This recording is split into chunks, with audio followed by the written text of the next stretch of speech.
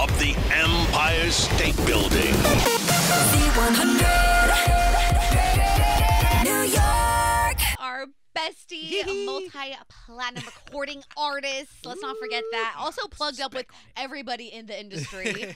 like you are Mr. Popular. We're so happy that you came by again to hang out with us, Max. Thanks, guys. Thanks Hey, for having me back. You and, on, you and our Max are like fuzzy Yeah. besties today. We didn't Just even meant to plan be. it. Just It meant was to be. supposed to happen this way. You Oh. know what I mean? Just I'm home. I love it. It just Two of a feels right. kind here. I think he Max needs is- to be your stunt double at this point. Whenever you're like on a lineup for anything, he's like, I could step in for him. if he Yes. I'm down. needs." I'm down. The thing is, though, I cannot hit those high notes, bro. I, I, I can't do it. If I man. ever I'm do trying. Jingle Ball, I want you to come out instead of You me. down? Just be like, Let's make that happen. Let's make that happen. The rotating stage. Yeah, we're gonna make it happen, dude. da, da, da, da. But no, you are nonstop, pedal to the metal, keeping Always. at it. Congratulations. guys. New music. yeah. Yeah. Big collab as Yeah. well. Um, just how are you feeling right now? Amazing. Yeah, I haven't put out a new. My last album was called Color Vision 2020, Mm-hmm. and this new one, Love in Stereo. Four years later, it's it's wild. Time flies, but I'm so grateful and feeling grounded and excited that people get to hear it. Well, what are, what are these stories this time around? Because it's it's a constant evolution. You're challenging yourself. You're building new bridges to connect the world through your sound. Yes, dude. sir. I mean, it's just been no. It's really been one of those things to watch you as a global star. You oh, know, Oh, man, really connect. So so where are these stories coming from in your heart this time around? They're always, you know, I have a new, as you guys know, I have a new muse in my life since the last album. My daughter Edie, who's amazing. She's three, and my beautiful wife, who's in the room, who doesn't want to jump on the mic, but I love her. Maybe you'll hear a British accent. Um, This so- guy is his wife's biggest like I was- cheerleader. I was such a fan. I like, basically "No." wrote a whole album about her, you know. so- yeah. uh, but yeah, that's that's it. That's a huge part of it. And I think uh, the longer I do this, the more I just am a little more accepting and um, un- unapologetically telling the stories in the Yeah. way like this new song "Stupid in Love." It, it's there's just something uh, about it that is is very me. There's something very warm and and sort of it just is what it is. The song is what it is. And I think maybe four years ago, even I might have been a little less ready to put out a song like this because because I want to make sure that it's like the coolest song or whatever. Yeah. But but this is just, just so me and how I feel and and and and we had a stupid in love story. You know, I got engaged to Emily in four months. I think all of our family was like, "You guys sure?" And we just knew. So it's been beautiful to just tell these stories in the most vulnerable way more and more as I go on. Yeah. I want to talk about how Max even hit you are a global star at this point. I mean, doing festivals around the world, working in Korea, working with the BTS team. Oh yeah, yeah. How was that? Because that is Oh, uh, it's, it's such an honor. I mean, the they've changed my life. Suga changed my life. Jungkook changed my life. The whole group and the team really have. And and it was amazing not only to, to work with Suga for his record and, and for Blueberry Eyes, but I was just telling this story. I was at my apartment. I grew up, and there's a song I co-wrote for them, Yet to Come, that they asked me to work on, and I sang the demo in my apartment right here in New York. That's where that's where I finished. I got off the plane. I came to the apartment. and We hooked up the mic, and that was what they ended up choosing. That song that I co-wrote for them. Um, and so it always stems back from here in New York, you know, and then it's amazing. Just it's an honor to have the music travel, and Korea has changed my life, and BTS has changed my to, life. to be a hometown boy, we've talked about this in several conversations together, man. You you hold this city with such high esteem. It's tatted on the body. It's, it's who you are, and to have that come through the music, and to have the world globally know and, and connect you to such an amazing space by being who you are. What does that mean for you to create from that vantage point? it's uh, so special. I feel really seen. I feel, and- Yeah. and, I hope everybody can get to a place where they feel the most seen and vulnerable, and that's what I want my music to do. And and it's been amazing. Again, speaking of Korea specifically, it's just some of the songs that maybe didn't get the most love in other places. Yeah. Really got the most love there. And it, and those were some of my favorite songs. There's a song called acid dreams that i Yeah. did on my last album that was just like really huge in korea. And, and and it was just really cool that some of these songs another one called checklist with chromeo it's just some of my favorite songs that maybe didn't get as much shine here in the us or something. It's so special that people connected with those songs in other places. And it just gives you more excitement to say like every song is meant for a, a different place as long as it comes from that authentic place. Like who knows where it's going to be responded to. Yeah. so um, yeah I, I love that. It's and, awesome. and writing from that space and creating from that space and being so true to who you are and doing that that just goes to show um, the power of your words and, and exactly like you said not knowing where it's going to land and why it's going to land but it does land. Yes. And it touches someone somewhere and that's a special gift that you've not only been given but you give to us. Thank you brother. I appreciate you. Mean it. thank you I mean much. It. And we also love seeing how connected you are with everyone watching you on socials. Oh, you yeah. pop out. You're always on it on TikTok, on IG, Yeah, yeah. asking people's input. Yeah. And that's not as easy as it looks. Thank you for acknowledging that. I really appreciate that. Yeah, especially recently, I've been posting like twice a day. I have an incredible social media director. Her name's Ella. Shout out Ella. Yo, love you. what up, Ella? Uh, and, and the whole gang, and it's been so great to have a team and have fun with it because it, it does drive music now. We all know, and so it's been great to kind of go on the other side, not get stressed about it, but really have fun with it. And and I love interacting with with the fans, not only just to say thank you or, or whatever else, but but it's been so cool with Stupid in Love. Like some of the dances were fans in their room that they choreographed, and now like these incredible superstars are doing dances they made When up in their rooms. Happen, are you are you now taking inspiration for shows and tour dates and things like that from fans who you've connected? Oh my god! with? Yeah, I, I had an incredible guy, Michael Lee. He's a he's an incredible choreographer and, and dancer. He choreographed like an official dance we were already working on. But then uh, there's this woman named Stream Blood Orange. She's 15. She just like made this dance in her room, and now I'll probably do it with Yunjin in Korea. You never know. It's Oh, like no. how cool that like Yes. you know I was that kid in my room. So I love that I get to to shine these great young talents. And I got another girl named Cam. She did a dance. She's coming to my New York show. This is We're gonna do it in. Person and. Man, that gives me some of the most joy to like connect with fans in that way because they are the reason that a song Yes. gets to grow. So I Yeah. love getting to showcase their talent. Oh my gosh, That is man. so cool. That is Knowing that other people are just like Yo. creating art based off what you're doing here So too, cool. and And dude, and uh, well, not only because you, but also let's stay on this topic of Mm-hmm. social media because you not only have been doing that for your your shows and all that, but you've been connected with some of your your friends from back in the day. Shout out to Oh, yeah. Kendall. Shout Oh, out to you Kendall, know yeah. Yeah, shout out to our big time Rush brother. You know what I mean? Yeah, You- you- you- like, he's the best. He comes together. into my house all the time. Well, I think we just have been having so much fun with our little side bits, and we play. You know, we we toured uh, this summer with Big Time Yeah. Rush, which was amazing.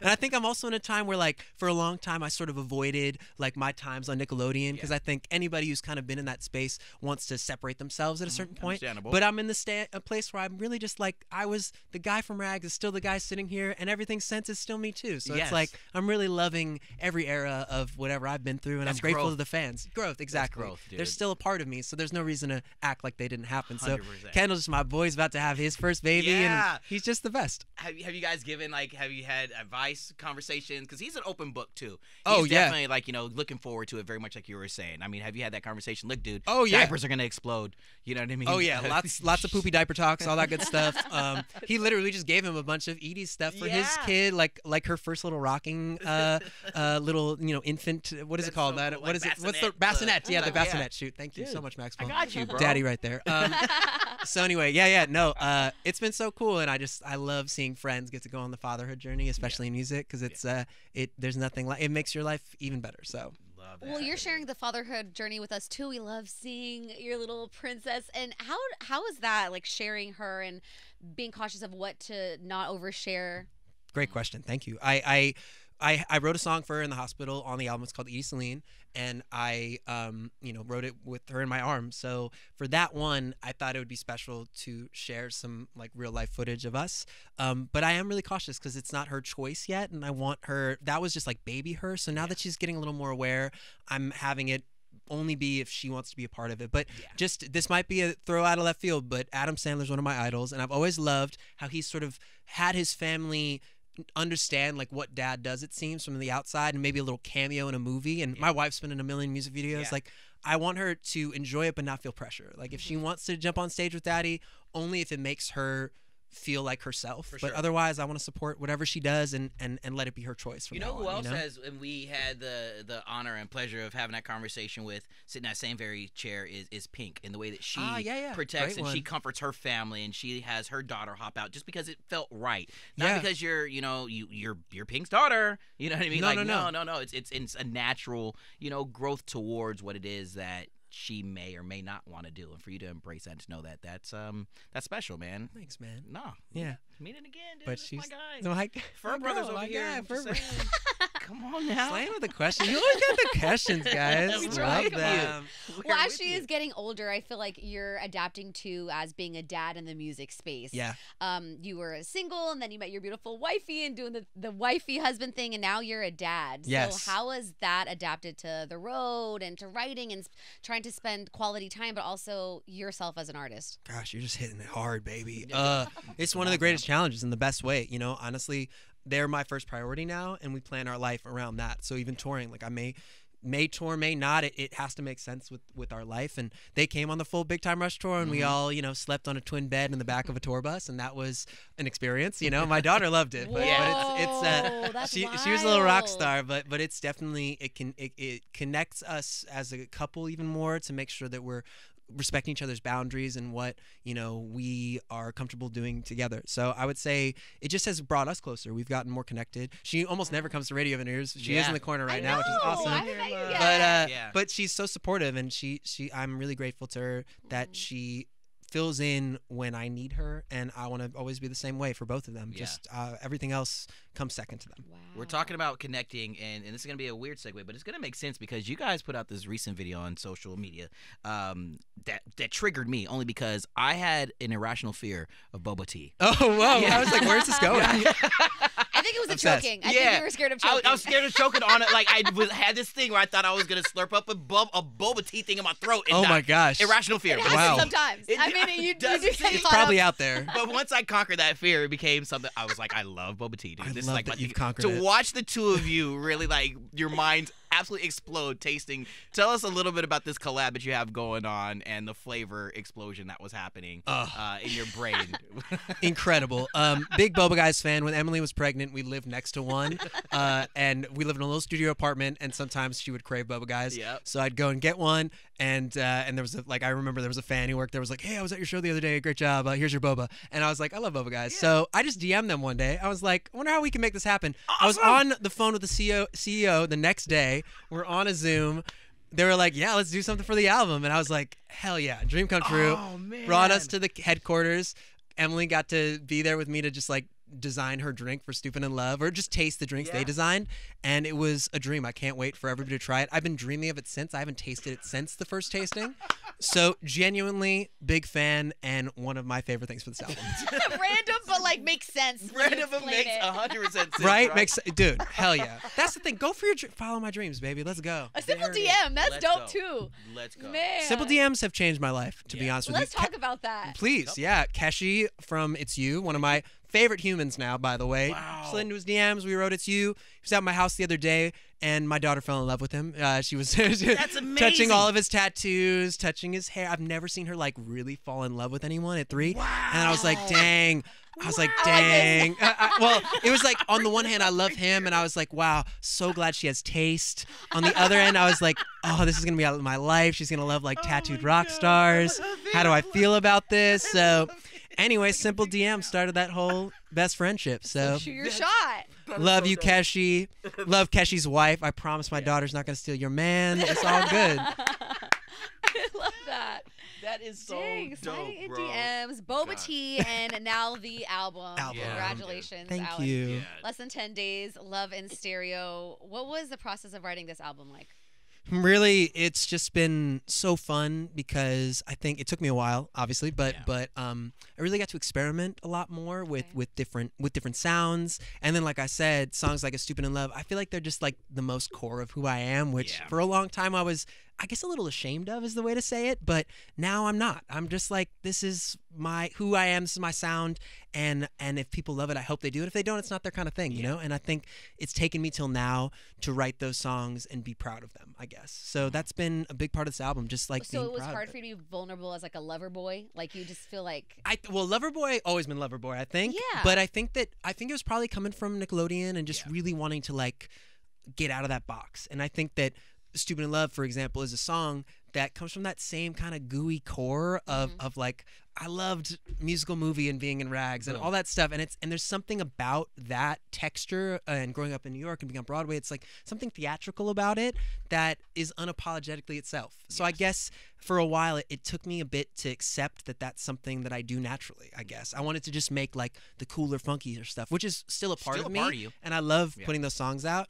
Um, but that's been a real cool thing with this album to kind of have both on there and and be proud of it. Dude, man. What was the um, hardest song for you to write on the album? Ooh, great question. Come on, she's hitting the hard ones. goosebumps. um, hardest one to write. I would say, I would say, it was interesting because Edie Celine was the it was both the it flowed the na- most natural. Obviously, like literally, Yeah. she was in my arms and I'm singing. Just It was just there. I'm just singing the song to her because Emily had just birthed a child, and I was just like kind of hanging there with her in my arms, and she was resting as she needed to, and I was just like, I guess I'll write a song for Yeah. you. Let's go. Let's, Let's just go. you and me. So that was so natural. But then I think I, I brought it home, and I then going from there to actually finish it, and I brought some amazing writers to help me, Sean Douglas and and Johnny Simpson, and finishing it that was the hardest because I was like, how do I still bottle up this feeling of being in that hospital room? So, um, and it's her song forever. Like it doesn't matter, you know. I hope people connect to it, but those are the kind of songs that are sometimes the hardest because they they're that's her first song I'll ever write for her. And Mm.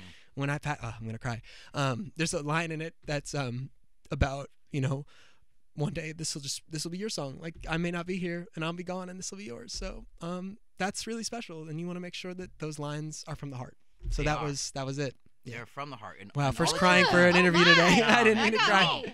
No, that sorry, got me man. too, man. it's it's it's it's, it's beautiful. It's beautiful what you do. It's mm. beautiful what you have done, and it's beautiful to see you continuing to grow into a stronger version of yourself who is willing to peel back those extra layers of the onion that you know that are still there, but you're continuing to challenge yourself and you're continuing to put yourself out there and you're continuing to still connect by doing those. So be proud of yourself for for growing and, and learning more about who Max is and being willing to share it with us, dude Who you and me are, baby. who we are.